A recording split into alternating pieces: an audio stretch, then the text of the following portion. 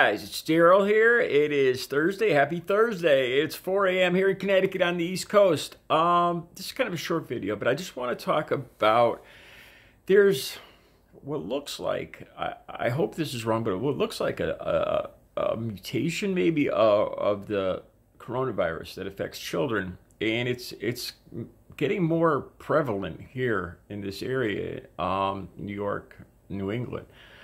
Um, as of yesterday, I know I know Connecticut had five cases. Um, I, I'm not sure. I, I don't think the, the, doctors or scientists are sure either if it's a mutation that affects children, a mutation of the coronavirus, or that the coronavirus, when children are exposed to it, sets off this thing. I, I believe it's called Kawasaki disease.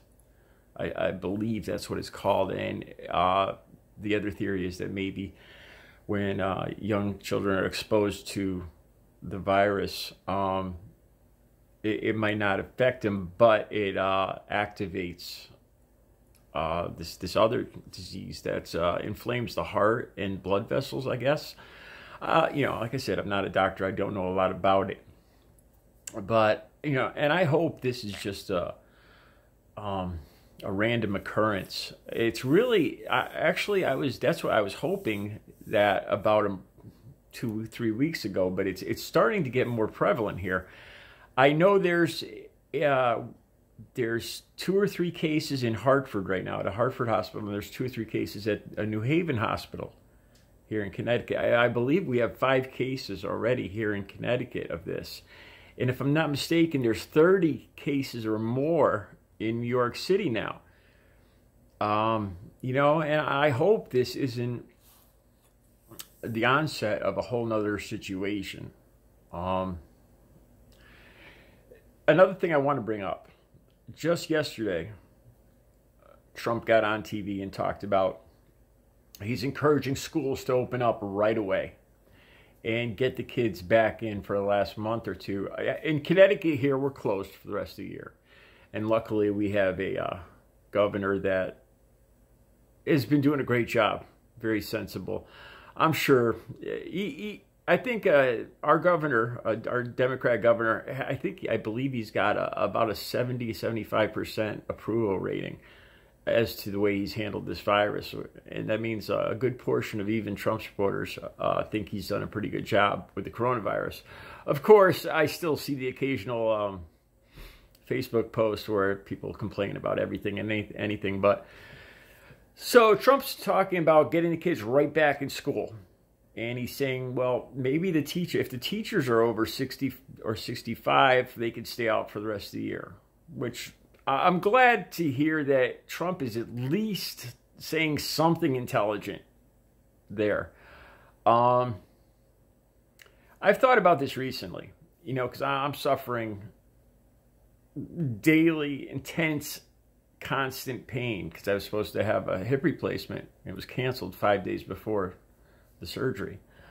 But I realized that there's a lot of other people suffering too. Um, I started thinking about the people that had dental issues. I, I can't imagine having a toothache for two months and not being able to do anything about it.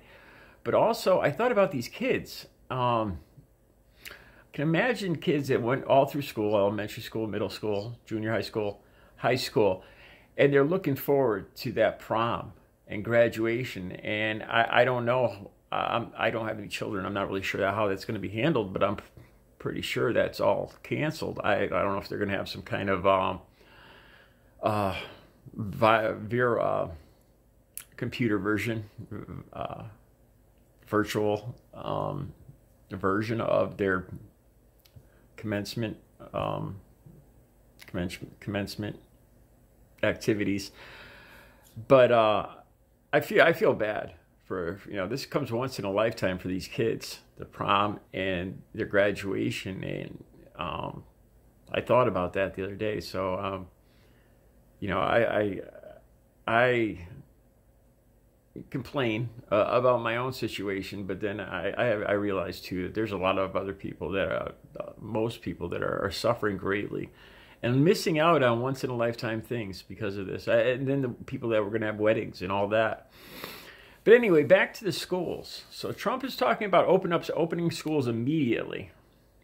Now, I don't know if this uh, young this version of the coronavirus or the Kawasaki virus, I don't know what the age exactly is. Um, it sounds like it's a, the young younger, um, like under ten.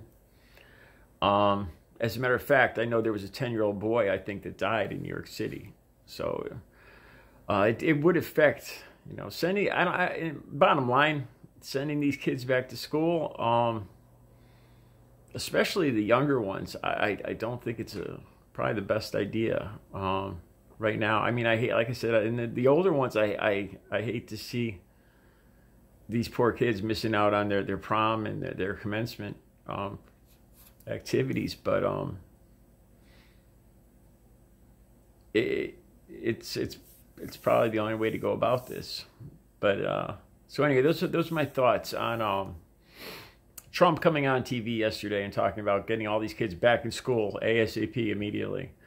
I mean, as far as learning goes, you know, uh, we all know May and June kids don't really learn anything. It's just, it's about wrapping up the year, a few tests, and that's it. Um, any learning is already done.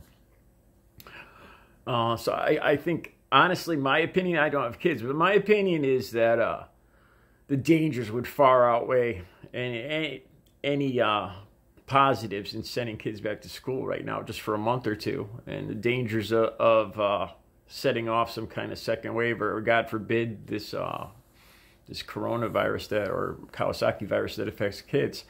Probably not the best idea. Um, just a thought. All right, you guys have a good Thursday.